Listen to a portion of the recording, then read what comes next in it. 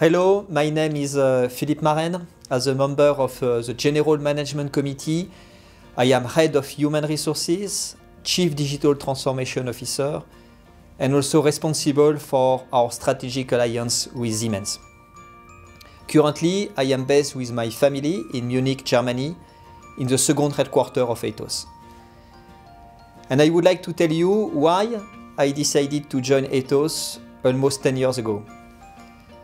I joined Atos because I found in Atos the great leaders who have shaped the vision of the future of our IT industry in terms, for instance, of social collaboration, security of data, and now quantum computing.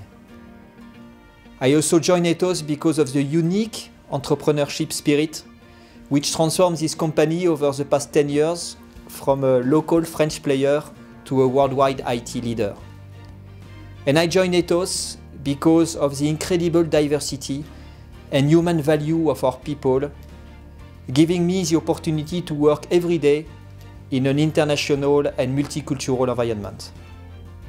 At Atos, we bring together a lot of value for our customers, for our people, for the society at large.